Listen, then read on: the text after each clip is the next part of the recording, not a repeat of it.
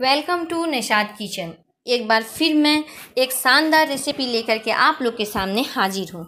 आज हम लोग बनाएँगे खड़े मसाले का गोश्त। चले, हम देखें हमें क्या क्या इंग्रेडिएंट्स की रिक्वायरमेंट है। ये मेरे पास हाफ़ के जी ओनियन है, जिसे हम डाइस में कट किए हैं। देखें, हम इसे डाइस में कट किए हैं। ये हाफ़ के जी बकरे का गोश्त है। Two tablespoon oil mustard oil one tablespoon crush किया हुआ गार्लिक। ये वन इंच का सिनेमन स्टिक है, दो बे लीफ है और थ्री कार्डमोन है। One teaspoon turmeric powder one tablespoon ginger crush किया हुआ, one teaspoon salt one teaspoon cumin seeds और टेन ब्लैक पेपर और ये मेरे पास ग्रीन चिली का रेड वाला पार्ट है और ड्राई रेड चिली है फाइव फाइव पीस चलिए अब बनाना स्टार्ट करें। चलिए अब इस कुकर में हम सबसे पहले अपने गोश्त को डालेंगे। हमने इसमें मटन डाल दिया है। अब इसमें मैं सिनेमन स्टिक बे लीफ और कार्डमन डालूँगी। ब्लैक पेपर ये टेन ब्लैक पेपर है।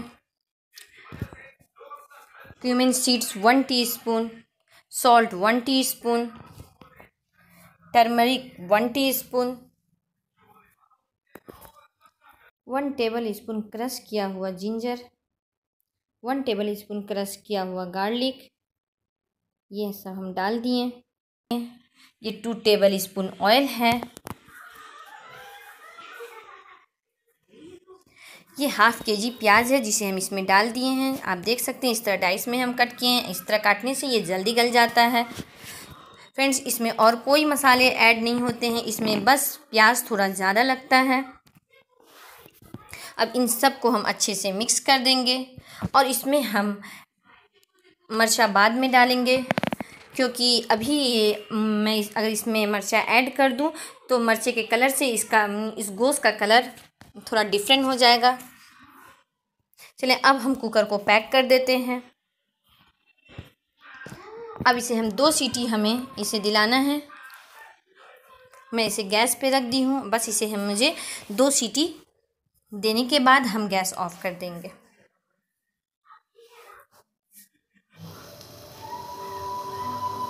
देखें अब मेरा ये रहा है।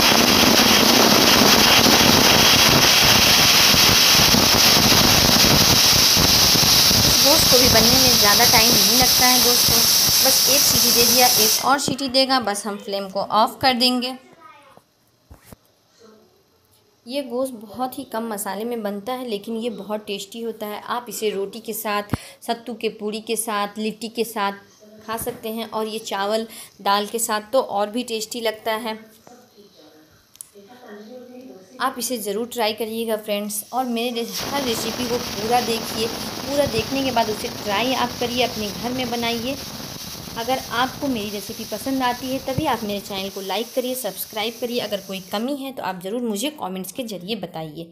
देखिए, हमारा दूसरा सीटी भी दे दिया। अब दस मिनट के बाद हम इसे ओपन करेंगे। देखिए, दस मिनट हो चुका है। इसका गैस निकल चुका है। अब इसे हम अब देखिए, हमारा मटन भी अच्छे से गल चुका है, प्याज भी। अब इसे हम बस इसमें जो थोड़ा सा पानी है, बस इसे हम जलाएँगे और हमारा इस पानी को हमको सुखाना है। मटन भी अच्छे से गल चुका है, पानी को सुखाना है और हमारी गोश्त रेडी हो जाएगी। अब इसमें हम ये मरचा डाल देंगे। उस समय हम मरचा नहीं डाले थे क्योंकि ये रेड चिली की वजह से इसका कलर थोड़ा सा ख़राब हो जाता गोश्त का, इसलिए। अब आप देखिएगा, इसी तरह यह एकदम येलो येलो ही ये गोश्त उतरेगा। मैं इसलिए इसमें पानी नहीं डाली थी क्योंकि मैं जानती थी कि गोश्त भी पानी छोड़ेगा और प्याज भी पानी छोड़ेगा।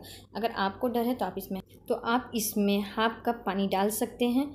अब मैं इसे दस मिनट के लिए कवर कर दूँगी ताकि इसका पानी सूख जाए और जो गोश्त नहीं हुआ है वो हो जाए। देखिए, दस मिनट हो चुका है, इसका पानी कम हो चुका है। आप देख सकते हैं, इसका पानी कम हो चुका है। अब हम फ्लेम को हाई करके इसे जल्दी से रेडी कर लेंगे।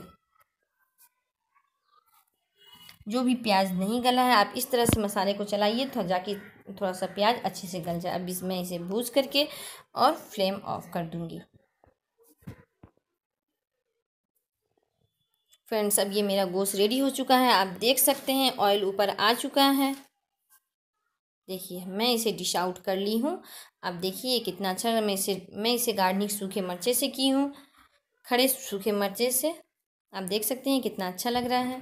फ्रेंड्स प्लीज़ आप इस रेसिपी को ट्राई करिए। अगर आपको अच्छा लगे तो प्लीज़ प्लीज़ मेरे चैनल को लाइक करिए सब्सक्राइब करिए और बेल बटन दबाना मत भूलिए।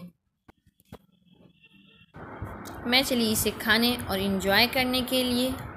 आप भी जाइए, बनाइए। खाइए इंजॉय करिए. Thank you for watching my video अल्लाह हाफिज़.